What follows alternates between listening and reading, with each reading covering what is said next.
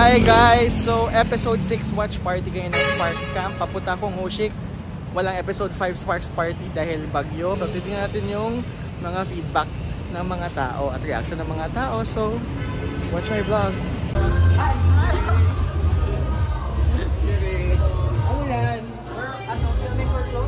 Ah, okay.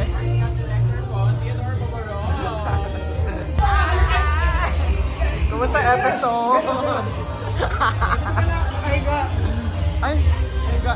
Nag-shoot ang TikTok content. Ayan, sige, kilig, kilig, kilig. Hiligan nyo, lapit pa. Sige, higayin mo siya. Higayin mo sa floor para sa episode. Ayan. Ang pulutan sa episode 6. Kumusta ka pa ako? It's 6 episodes na. Ito pala yung dahilan. May pakana. Volunteer. Um, editor of the season. The editor of the season. Ah, so, before the pulutan episode, kumusta ka pala? How's the feedback na mo sa mga tao at sa mga mahal mo sa buhay?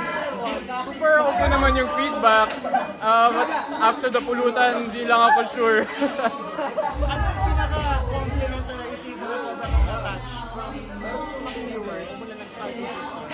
uh, I, I like uh, one person said na hindi lang ako body.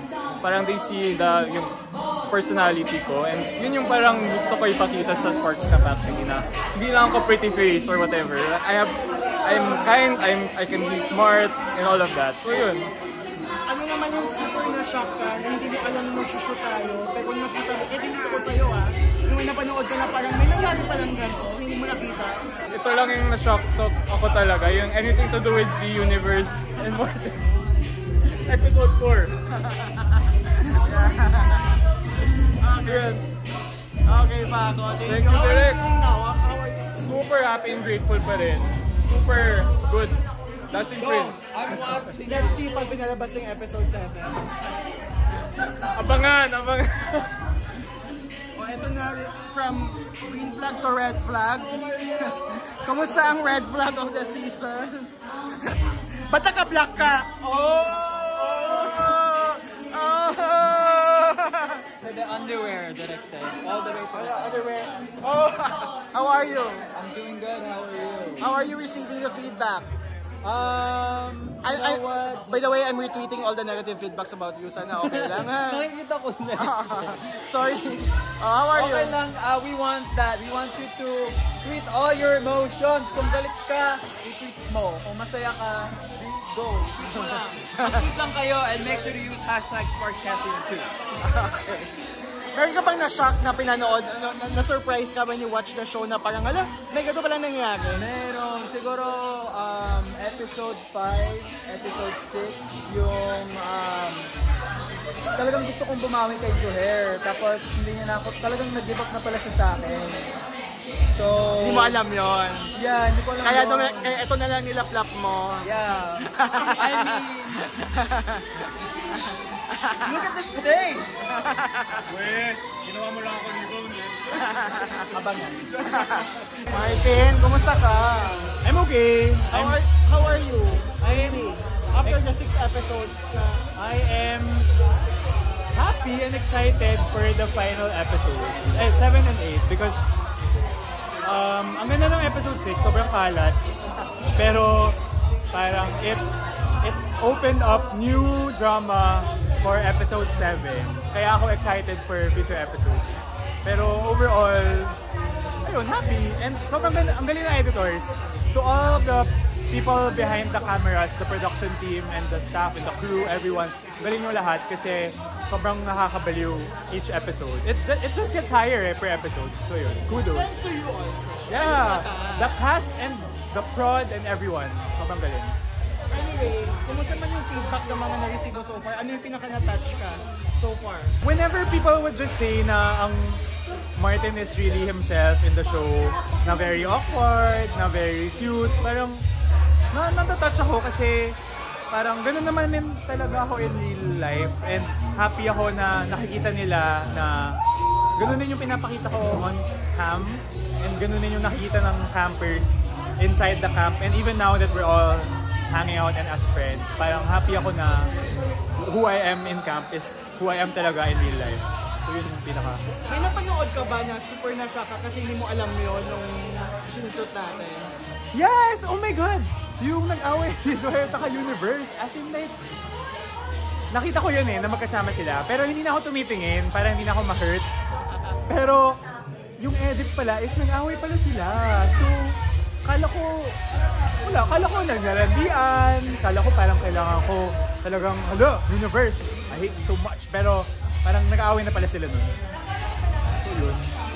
Okay, yun lang. Thank you also for your content. Yeah, of course. Of course. Ang galing. kailangan, eh, for me rin naman yun, like, hinahakot ko rin ang, hinahakot ko rin ang eyeballs of Of everyone. course, of course. So enjoy, enjoy the show and enjoy the content and the promos. Oh, Miggy, kumusta ka na? Ah, Direk, I'm so happy. Super, super, tabak punong-puno yung puso ko ng mga messages and support from the community. Speaking of messages, ano yung natanggap mo na sobra kang natouch? Yung one message na sobra kang natouch? Okay, so in, in-screenshot ko talaga siya kasi natuwa ko sa kanya na parang first time daw niya mag-come out sa family niya and right now, sinusuot na daw niya kung ano talaga yung gusto niya. Parang ina-express na talaga yung sarili niya. Yung feminine side niya, nilalabas na niya. And kumusta naman yung editing mo? Natatawa ko din eh kasi yung mga hindi ko alam na lalabas pala yung mga sinasabi ko. So, alam niyo, alam niyo guys, yung mga ba- mga banter ko, yung mga hilit-hilit ko sa show. Guys, pati ako nagugulat sa mga pinagsasabi ko. Ano naman napanood mo na nagulat ka na hindi mo alam kung nag-shoot kayo? Nagulat ako sa ano, sa mga tirada ni Suher about sa mga mga hirit ni Suher about the universe. Tawang-tawa ko. Diyos ko po, Lord. O, oh, etong sa kissing scene, kamusta naman? Guys, sa mga nagtatanong kung kamusta ang kiss ni Martin, ang sabi ko lang, the best. Yun yung sinasabi nila? Top eater niya daw. Siya pa talaga. Magugulat kayo. From the top. From the top, make it. Ako na yun. Lalaking lalaki si Sage. Yun nga eh. Wait, tama na yan. Baka may Tinatamad na ako mag-makeup. Tinatamad na ako mag-makeup. Promise. Actually. Ito si Kyle makulit to eh. True. Nakailang be ilang beses na kami nag-away nito. Away? Sa saan? Wala. Ipapalabas ko naman to after the series eh. Ano, nagkakabanggaan kami. Because of... A lot of things. Ah, alam ko yan. Si ano? Yung sinasagkinig ko mo sa akin? Ikaw ha, nagkukwento ka. Hindi, ah. Away ulit tayo. Hindi ko lang lang. Yung got, that- got the- around with Kyle. So parang super gets ko na siya. Kapag may ginagawa siya, na yun.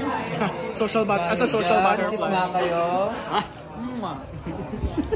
Hindi ko naman sinabi sa lips eh. EJ is here!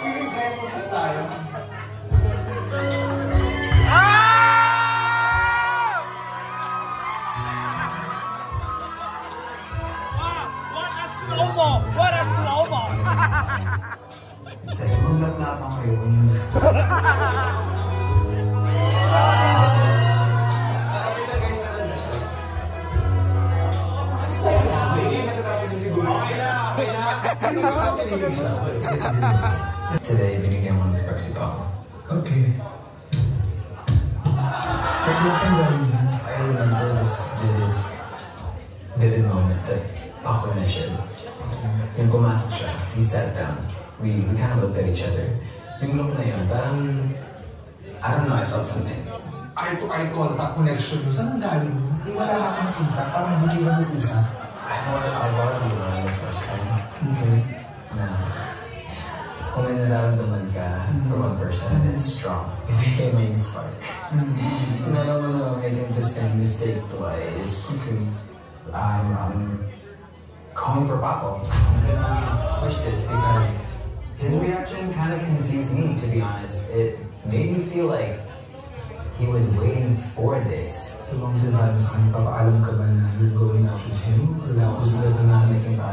telling you, I'm going to choose him.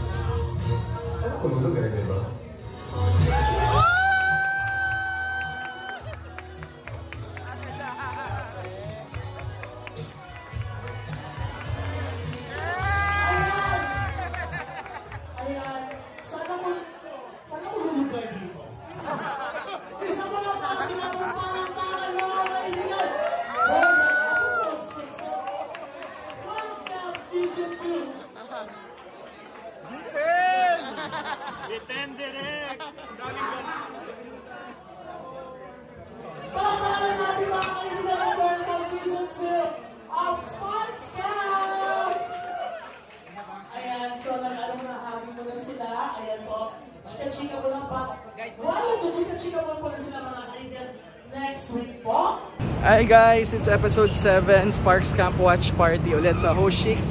Eto na, malapit na matapos ang season and I'm excited to cover for you what's going to happen behind the scenes. Yeah, let's go. Look who I found! Hi, Bong! Sa kanto. Nandito na ako ngayon. si EJ! Kumusta? Napanood mo na yung episode 7. Gusto ko malobat, direct. Lalabas ko naman to after the series na, so alam na nila. Sa'yo naman, kasi napakaganda ng episode 7. Napakagaling Yeah, for me, it's your it's the best episode ng season. Promise. Talaga? Talaga. Nauga, nauga kami lang. Mapapanood nyo yung reaction video namin. Ayun, panoorin ko. Ganda, ganda. Ikaw, Dan. Super solid na penultimate episode siya. Ibang klaseng intensity siya. If wild yung 6, yung 7, emotional. Emotional. Pinaka na siya kasi sinabi ko doon sa Sparks pag kay Paco. Parang hindi ko in-expect na, ay, ganun pala siya. Paano, paano, paano? Pinaulit na. Hindi, as a fel- fellow Virgo eh. Pero I respect naman kung ganun siya and yun na yun eh, yun na yung napanood namin. Reaction lang naman namin. Ikaw, na-shock ka? Kasi may mga napanood siya na hindi. Na hindi niya pa na. Hindi mo nakita, no? Ah, may mga napanood ako na hindi ko alam. Alam ko after the cup na nangyari, pero hindi ko alam na ganoon pala yung nangyari. So, sobrang shocking. Ano, ano, without, ano, alin particular yung scene? Ah, Date? feeling ko the date na Siya ka sa date, ganun, no? ganun pala siya magsalita. sa mga tao. Kapag-fall. Ganun pa fall. Yan hiya yung Maria, yan hiya yung Maria Cristina Fall. Boy! Kamusta? Okay lang, grabe. Nag-party kami ni Bang kagabi. Saan ka nag-party? So yes please, yes please. Ah, oo, sa Ano, ano sila Krisa, sila Vibery, lahat ng mga artista, oh my god, na overwhelm ako. How are you? I'm doing good, how are you? I'm, are you ready to watch the episode? So excited and nervous. Yeah. I'm excited to see who wins the date. Pwede bang sabihin? Yeah. I'm excited to see my date with Paco. Kahit na maraming mambabash, Kahit na, basta kiligin ako.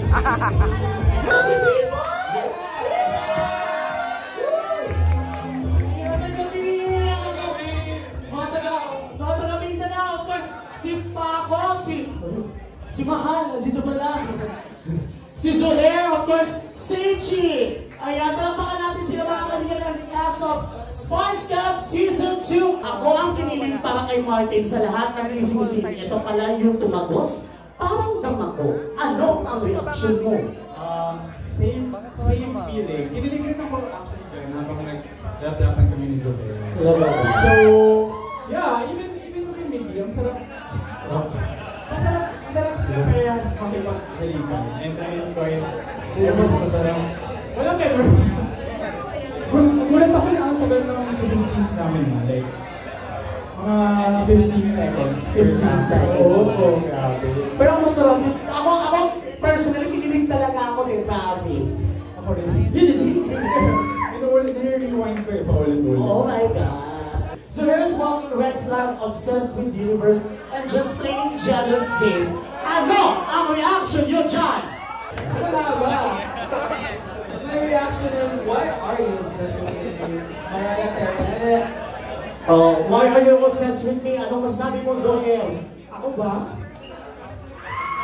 Pag yan pa kayo naka-black na tatlo. Ako. Hindi, hindi, hindi na, siguro, feeling ko backward, hindi ka naman masyado ano eh. Hindi naman kaya nangyari. Ayan. So, eto ano naman masabi mo, Martin? Sa sa tweet ng isang ating nag ano nag-gym siya ngayon. Um, hey, more about Jessie. Hello, Jessie. Thanks so much for your opinion. Pero, ano, hindi ko kailangan ng opinion. Kaya, you know, all of these campers are. Ang ko lang. Um, pero abangan nyo na lang sa following episodes kung ano ang magiging flag naming lahat. I love you so much. You're just so strong. I don't know how to do it. I really don't know what you're doing. Thank you. Thank you. Sabi ko, dito ako umiyak. Pag ko yung sabihin ng pinili mo, gusto ko bigla akong iiyak. Nakaka-enjoy ko na dito. Pero yun talaga yung naramdaman ko. Ano ba, sabi ko nga, hindi ako naging ganito kalakas, ganito katagal, umiyak na ka. I like you a lot. I you a lot.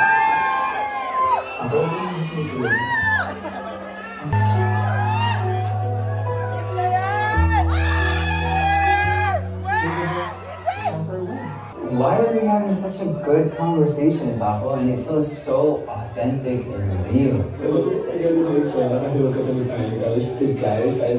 I think I would regret it if I don't say that I'm trying to.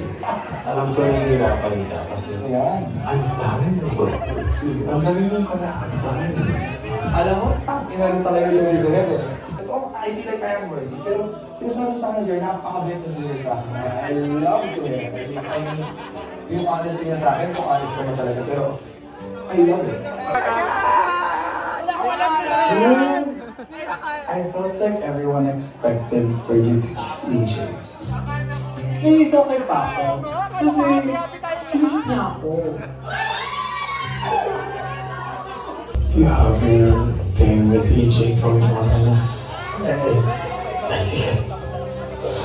I don't wanna, I don't wanna, I don't wanna interfere. I know what it feels. Okay, this is where it gets complicated.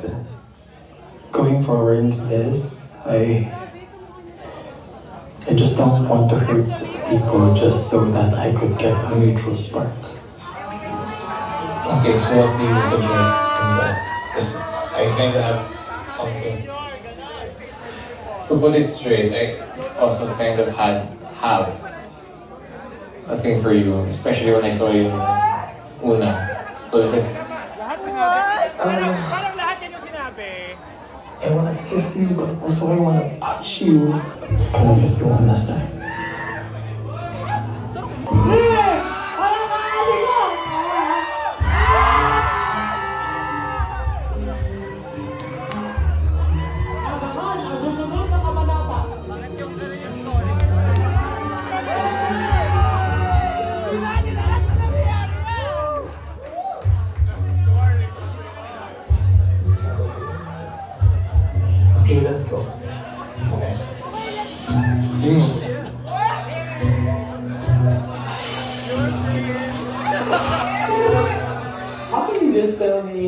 You like me and just push me away?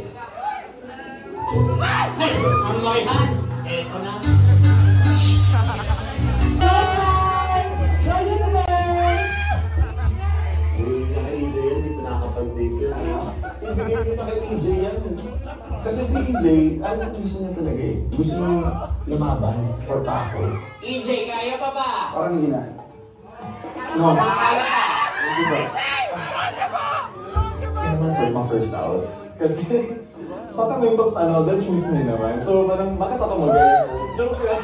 Joke lang. Give chance to others. You have your numbers in mind. Are you being motivated by the person you want to date? EJ, I can't.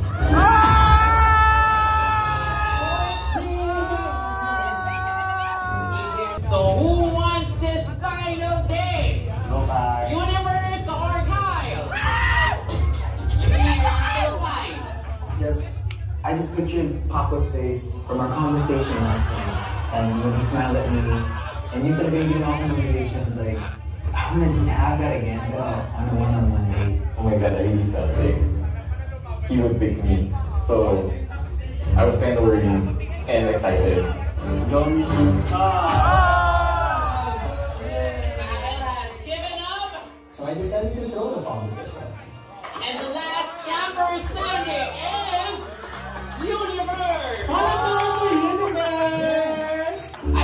enjoy your intimate dining experience. Universe, you deserve it. Give it your all. Thank you. Aww, you look so cute, and your little thick, and your glasses. Ooh, this is beautiful. Sarap na pagkain. Wow. Oh, but I don't want to stay in You kind of do your story that, that touched my heart. You know, when you talk about like the whole, yeah, just your story. Universe really made me feel things. I'm not gonna lie. I was really, really, really interested. December, how it tastes good. Even if I was tipsy years drunk at that time, I Would you try them? right now. I was thinking, it's okay. Oh, it's okay, we could, we could, we can, we could, we could. Yeah, we don't need to. We, we don't want it. I, I want it. I want it. We could. Go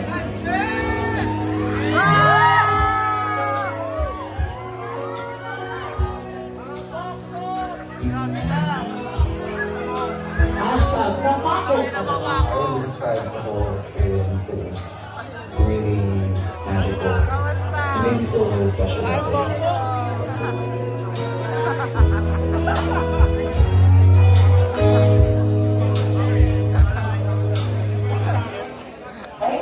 Do you like me or don't? Just let me know. I felt like it was an instinct for me. I hope that answers your question. Seiji, di like, confused siya. Like, that's interesting. My chances are going higher. I have a question. Um, normally ako before si si Seiji kasi parang ang dami yung tinatago. I don't really know why exactly you came into this camp. So my question is, like, did you just come here to cause drama and stir the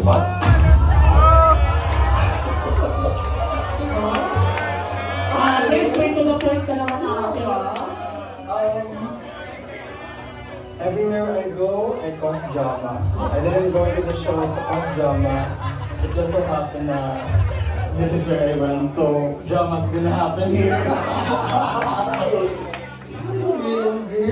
oh my god, I did not know. I'm just, I'm just happy to be here. Nakapili ka na kasi yung bibigyan mo ng spot.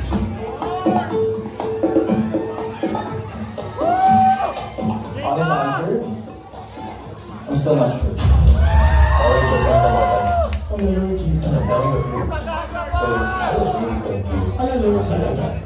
Sa chance na naman ako for you, Jay. At nakita ko naman talaga na nasa din siya. I have a question. Okay. Are you are you here for the chase? Do you like causing why are you causing trouble? Especially for me. I don't have to know the reason. Talaga talaga siya makasino. Why did you kiss me last night? The question was, kiss the camper who had the prettiest smile.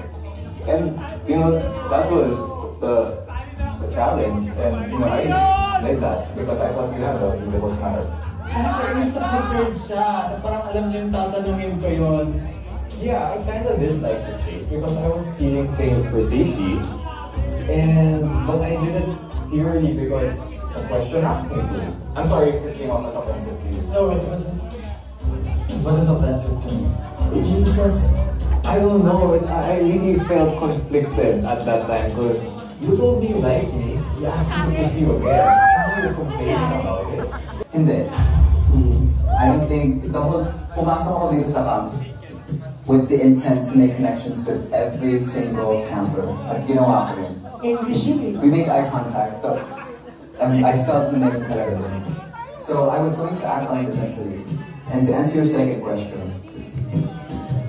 ikaw na rin nagsabi sa akin. You gave Zuhair a spark. Diba? Pero yung mutual spark na kami, nagtakot ka. That's my answer. Yung may mutual spark kayo, nagtakot na rin ako. Friendship is on the line. Nirespeto ko yun. Pero yung luha party, eh. Sabi yung signatures. Laban tayo. Sabi ka niya. Uh, since you just got to in April, how do you feel about me right now, given na what happened last night between me and Split? Actually, medyo nailang rin talaga ako kausapin siya kasi yun nga, galing kami ng triangle. Para sa akin talaga, yung spark, sparks camp natin, pwede mo ibigay kahit kanino. Multiple sparks, it comes platonic, it comes romantic. Since ang dami mo na sinabi kanina, hindi, tal- hindi to talaga dapat ko sabihin. Ang gusto ko sabihin sa akin, thank you kasi inconsistent ka. Kasi kung hindi mo lang, hindi ko narinig si Martin, ang mas deserve mo siya. Lord, oh Lord Jesus, there's some fire.